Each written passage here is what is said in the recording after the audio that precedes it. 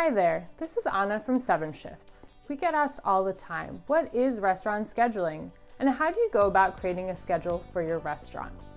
Today, we're going to fill you in on the top things you need to know about restaurant scheduling and share with you the step-by-step method for creating a great restaurant schedule. So, what exactly is restaurant scheduling? Simple. Restaurant scheduling is creating and maintaining a work schedule for everyone that works at a restaurant, including what time they work and in which department or role they will be working. This might sound simple, but it's surprisingly tricky. Restaurants are busy places with many different departments and roles.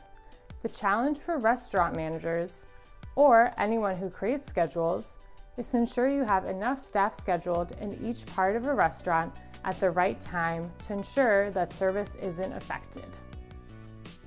So, how do you create a great restaurant schedule? Here's a step by step process to creating your schedule.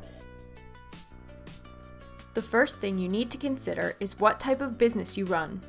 A coffee shop's shift schedule, just like their hours of operation, will differ wildly from a full service restaurant. The first step in building any schedule is to outline shift hours. Note that these hours will often be different than your operating hours to account for prep and cleanup time needed before and after open hours. When scheduling, you have to consider availability. Employees and their personal lives will affect when and for how long you can schedule them. After you outline the shift hours, the second step is adding employees into your schedule. And be sure to account for their individual availability, time off requests, other jobs, or things like holidays and labor restrictions that may be in effect. Adding staff availability to your scheduling process will also ensure that you don't accidentally schedule someone who's unavailable to work that day, saving you from a headache down the road. The third step is to plan out how many staff need to be scheduled at different times throughout the day in order to meet your expected demand or to fall within your labor targets. For many managers, this is done based solely on intuition, but if you want to be more precise, you can reference past sales data from your POS to see how many staff should be working. Online scheduling tools like 7Shifts make this easy by integrating with your POS so you know exactly how much your labor spend will be as you build your schedule. Make sure you stagger shifts to cover the time between shift starts and ends.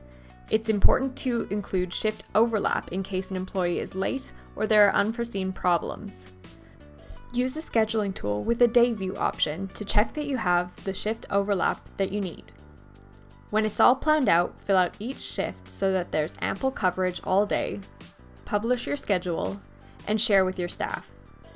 Web based scheduling tools will notify your staff automatically that there is a new schedule available and what shifts they work.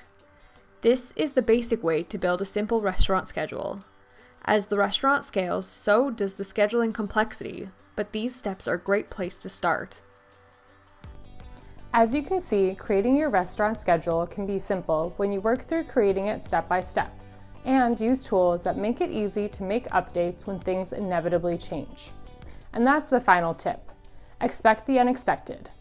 Restaurants are busy places and the schedule is always changing. The easier it is for you to make changes to your schedule, the easier your life will be. If you would like to learn more helpful how-tos, watch our other videos, or visit us at 7shifts.com. See you next time.